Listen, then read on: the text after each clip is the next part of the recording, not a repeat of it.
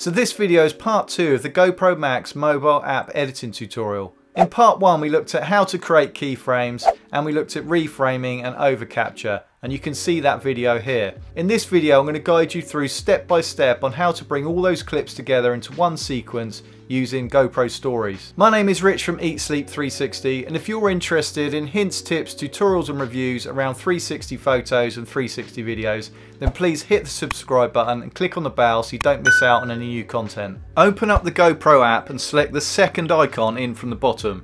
Now select start a new story. You can now select items from the GoPro app, from your phone or from the GoPro cloud. Once you've selected your clips then press the tick icon and the story editor screen will open with all your clips in slot holders next to one another at the bottom of the screen. The story editor automatically trims your clips and adds transitions and music to your sequence and the artificial intelligence that it uses in the software is actually really good so you could just change the title of your clip and export it and you're done but there is so much more you can do which we will explore in more detail in a minute. Before we do that let's look at the main menu and all the auto story options. On our main opening page we have our timeline which shows our edited sequence. The next icon along is our themes and this is where we can select different themes for the auto story editor and it will change the pace, the music, the transitions and the graphics all automatically and there are several to choose from. If you tap the pencil icon that's on top of the theme that you've selected, it will allow you to change the font graphic for your title and you can change it from normal to bold. Once you're happy with any changes, then select the tick icon.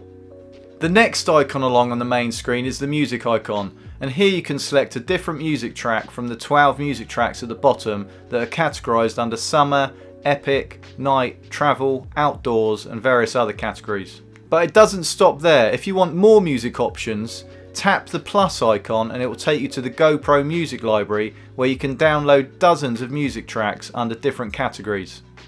You just select the track and then it automatically downloads and adds it to your edit. You can also access your own music library on your phone by selecting My Music. Make sure you've given permission for the app to access your music in your settings menu. The next icon along on the main screen is where you adjust the story length so the length of your final video. And also here you're given AI suggestions for the length of the clip for use on Instagram or a suggested point where the music has a good ending. The final icon in the bottom right hand corner of the main screen is where you can adjust your aspect ratio, so the size of your final frame, and you can choose between 16:9, 1x1, 9x16 or 4x3. So let's go back to the main timeline screen and look at ways we can make more adjustments to each clip in our sequence. The first thing you want to do, even if you are using the auto story editor, is to change the title. So select the title box at the start of the sequence and then tap the pencil icon. Tap in the middle of the screen or tap the text icon and you can now change your title. Once you're happy, press the tick icon. You can change the duration of the title by selecting the duration icon and changing between short, medium and long and once you're happy with this again press the tick icon. Now from this point you can slide to the left and see the next clip in your sequence.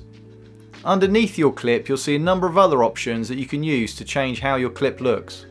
The first icon is trim.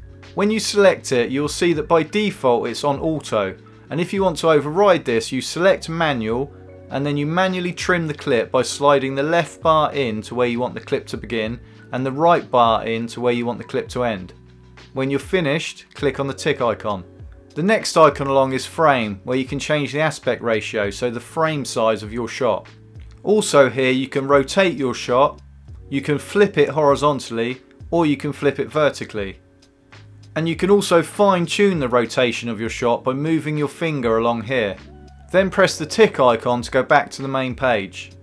The next icon along is filter, where you can choose from various filters that will change the look of your image, changing colour, saturation, contrast etc. all at once by selecting one filter. The next icon along is speed, where you can make some adjustments to the speed of your shot. The final editing option is volume, where you can mute the original audio track or you can mix the original audio track with the music so you can hear both or you can boost it which will enhance the volume of the original track. A couple of other things before we finish. Once you've selected a clip and selected the edit icon, You can also remove the clip from your timeline by selecting the three dots and clicking on remove from story. Or you can duplicate the clip here as well which will add a duplicate of the clip next to the original on the timeline. If at any point in the timeline you want to insert a clip into your sequence you can select this icon here. So find the point where you want to insert a clip, select the icon and then select the clip you want to insert and it will appear on your timeline at this point. If we slide to the end of your timeline, you'll see the GoPro logo and this comes up by default at the end of your sequence.